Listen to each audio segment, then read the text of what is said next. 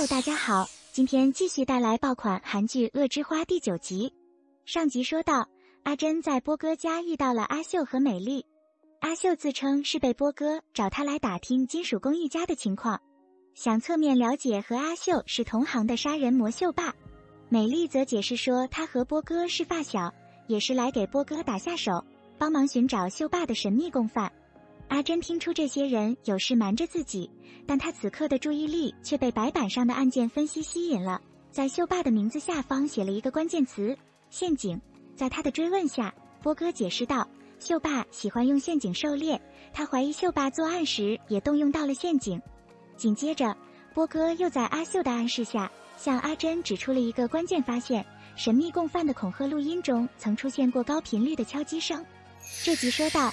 阿珍决定将录音转给相关机构进行分析。一脸严肃的阿珍让美丽很警惕，随便找了个由头就准备告辞。但阿珍却不肯放过他，疯狂指认美丽的通缉犯弟弟有可能就是神秘共犯。在昔日的心理咨询中，还是孩子的阿秀就说过看不惯邻居，但是杀了很麻烦，所以把邻居家的狗杀了。恐怖人格尽显无疑。美丽受到刺激，情绪失控。言语间透露了一个情报，很多扣在弟弟头上的帽子实际上是秀爸干的。美丽差点就说出里长之死也是弟弟为了保护他而背的锅。关键时刻，阿秀打翻咖啡，波哥赶紧趁着停顿赶走大家，终止谈话。阿秀和阿珍同行的路上，阿珍故意透露口风，在春嫂的案件中，秀爸利用儿子做不在场证明，但秀爸还是少不了要和神秘共犯交接车钥匙。阿秀听到这里，突然意识到自己全程和秀爸在一起，很可能见过神秘共犯，但时间间隔太久，他实在想不起来有用的情报。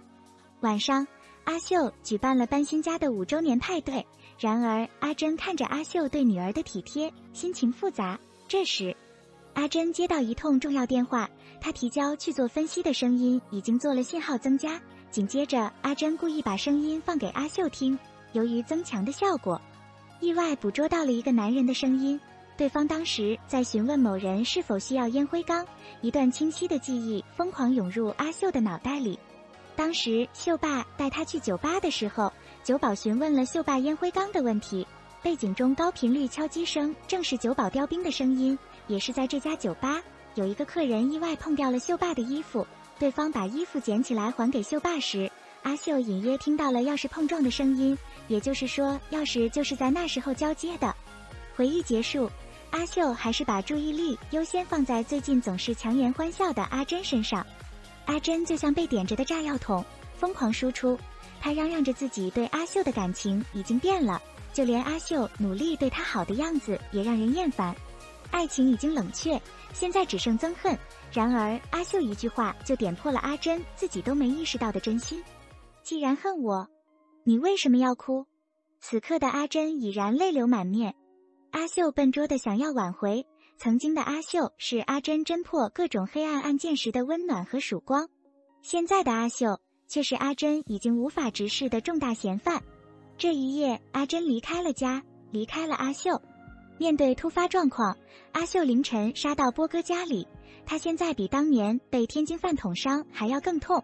见此情形。波哥都快崩溃了，你们俩夫妻闹矛盾，也不要凌晨跑来祸害我啊！这时，美丽也听到消息，火急火燎赶了过来。得知阿秀烦恼的是感情上的事，美丽反而有些欣慰。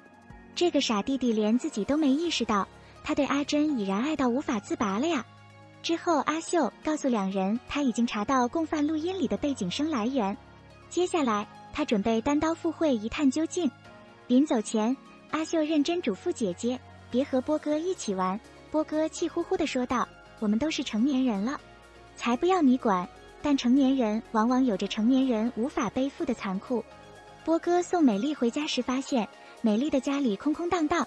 由于常年不喜欢开灯生活，连灯坏了都没有发现。平时要借助药物才能入睡，睡不着的时候，偶尔会像疯子一样哭一整夜，有时候几天都不出门一次。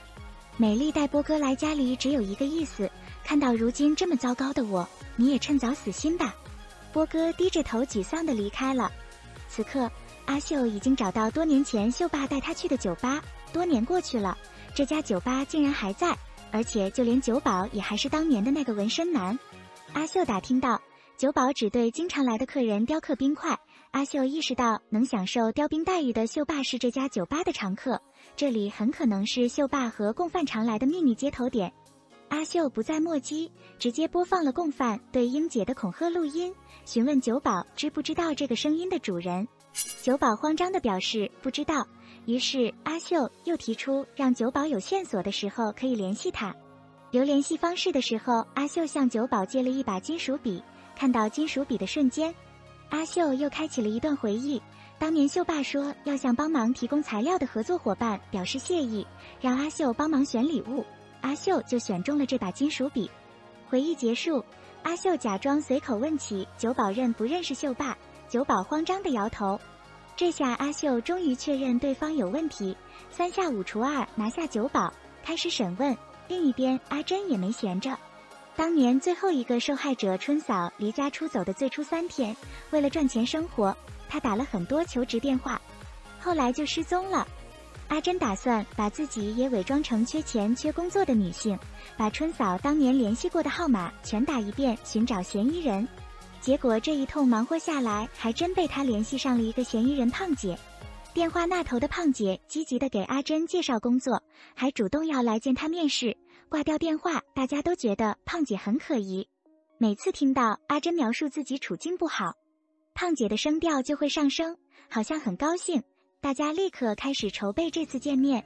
此刻，胖姐正在和一个地头蛇老黑见面分赃。先前那个因为自责而离家出走的小胖子小金，就曾通过传单找胖姐介绍工作，而后被胖姐带到了老黑这里。一听说小金是离家出走，没人知道行踪，老黑表现得非常热情。看样子老黑和胖姐从事的应该是人口买卖之类的非法勾当。这时。老黑接到酒保打来的求救电话，看样子酒保也是老黑的人。阿秀直接抢过电话，问道：“你就是秀爸的共犯吗？”一时间气氛紧张了起来，天渐渐黑了下来。主角团迎来了各自的选择。波哥买了灯管来帮美丽换灯，阿珍开始了对胖姐的钓鱼之发，而阿秀则直接来到了老黑打手云集的大本营。老黑痛快承认了，他也认识秀爸。但他对阿秀的身份持怀疑态度，于是阿秀讲述了当年秀爸去酒吧点东西喝的习惯，证明自己就是秀爸的通缉犯儿子。阿秀表明来意，他要找出秀爸的共犯，替自己洗清嫌疑。但老黑却认为阿秀自不量力，字里行间把那名共犯描述成了强大的对手。老黑自我介绍是一个什么都卖的生意人，于是阿秀投其所好，打算用钱诱惑老黑。说出共犯的身份，结果却意外玩砸了。老黑表示，共犯也是他的顾客。如果把毫无交集的阿秀卖给共犯，又能拿钱，还能赚人情，何乐而不为呢？伴随老黑一声令下，打手们不怀好意地围向了阿秀。此刻，阿珍这边，她伪装成离家出走的女性，正在和胖姐周旋。钓鱼执法非常成功。阿珍交完中介手续费后，直接考住了胖姐。这时，一直在监听的警察同事们杀了过来，阿珍赶紧去给大家开门。结果就是这一眨眼的时间，胖姐跑了。也许是老天对这种人贩子也看不顺眼，胖姐逃跑时意外摔伤了重伤，警方立刻把她送去手术。阿珍因此被狠狠骂了一顿。他沮丧地走出警局，拿出手机，看到一堆阿秀发来的未读信息，各种嘘寒问暖求复合的内容，让阿珍想起了一件往事。那时候，阿秀带着怀疑的阿珍来到新房，阿珍很感激阿秀总是给她送礼物制造惊喜，反问阿秀想要什么礼物。阿秀珍重地说道：“我希望你能不要改变，一直像现在这样看待我，那样的话，我会一辈子为了你而活。”想到那些往事，阿珍直接哭出声来。与此同时，阿秀正要遭受老黑团伙的毒手，关键时刻，阿秀把自己伪装成了和秀爸一样的变态杀人魔。希望长期稳定的向老黑购买人口。老黑面对这突如其来的客户，突然有些犹豫。这时，阿珍给阿秀打来电话，老黑把手机还给阿秀，阿秀接起了电话。阿珍在电话那头诉说着自己对阿秀控制不住的想念，阿秀以很忙为由敷衍了阿珍。一向温柔耐心的阿秀突然这么反常，阿珍觉察到老公可能处境不妙，于是赶紧说道：“从现在开始，你只用嗯和不是来回答我。”紧接着，阿珍问了第一个问题：“你现在需要帮助吗？”阿秀回答了不是。阿珍又问：“你一个人可以解决吗？”阿秀回答了嗯。阿珍的心稍稍放下了一些，她要阿秀一个小时后来找她，他已经控制不住对阿秀的想念。这一回，阿秀的回答仍然是嗯。本集完，阿珍教会了阿秀喜怒哀乐、爱与被爱。在这个过程中，阿秀先天的情感缺失被逐渐补齐，阿珍后天的猜忌也被生活中的温馨所取代。双方处在极度危险的环境中，仍然控制不住对彼此的爱意，这就是爱情的魔力吧。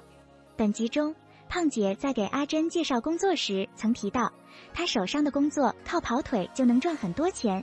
如果胖姐没有说谎，胖姐和老黑所谓的工作很可能包括了人体运毒、人口买卖、器官买卖等等令人发指的违法行为。这部《恶之花》果然巨如其名，往黑暗和邪恶的方向无限沉沦。本集中还有一条阿强醒来的支线故事，其中有一幕格外恐怖。阿强询问老辉自己还能不能走，老辉的回答是：何止能走，还可以从事喜欢的职业。住在二层别墅里，和一个好女人结婚，生一个可爱的闺女，你也可以那样生活。最后一句话极其危险，是否意味着老灰有可能准备干掉阿秀，把阿秀的生活还给阿强？之后，阿强私下对老白提起，他记起了一切。出事前，他似乎约了一个人有重要的事情会面。阿强到底记起了什么？他要去见的人又是谁？阿秀和老黑的对决最终又会如何收场？请看下集，咱们下期见，记得点赞呀，拜拜。